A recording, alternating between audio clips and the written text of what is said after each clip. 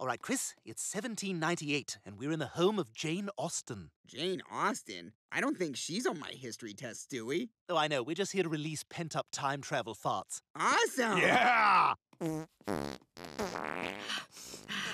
Oh, yeah. Give me some of that.